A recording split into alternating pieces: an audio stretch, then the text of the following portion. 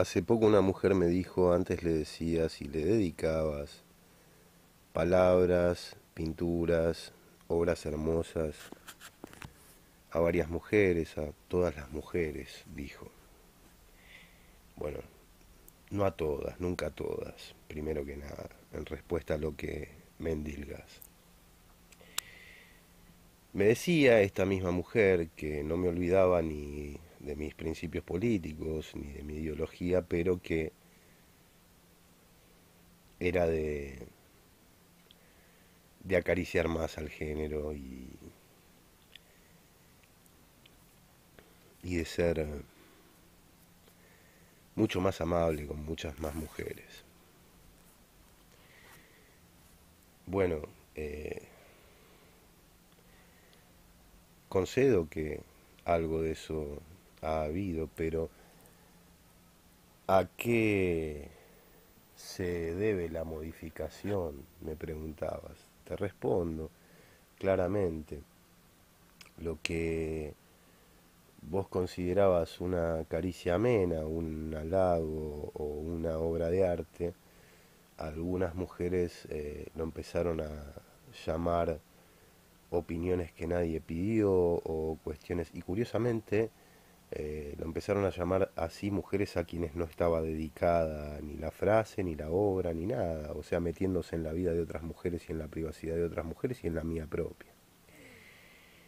Eh, es curioso que las mismas expresiones que tienen colectivos de trans y de gays para con personas que somos heterosexuales estén cargadas de violencia sexual cuando ciertas mujeres hablan de que algunos hombres tienen violencia sexual hacia ellas. Entonces eh, parece que esa doble vara discursiva ha encontrado lugares eh, suspicaces dentro del marco de la comunicación política para cometer agresiones, manipulaciones y extorsiones solapadas, ¿no? con actividades completamente irregulares. Quizás a tanta mugre política se deba que me he vuelto áspero o reacio a esa pluralidad de adjetivos hermosos que vos considerás que yo construía desde el escenario artístico e intelectual y que destinaba a mujeres que según vos misma no siempre estaban a la altura de merecerlos a algunas y otras sí, o que tenías la sospecha de que me gustaba decirles cosas bellas. Eh, bueno, mm, espero que te sirva la respuesta a lo que me endilgaste, ¿no?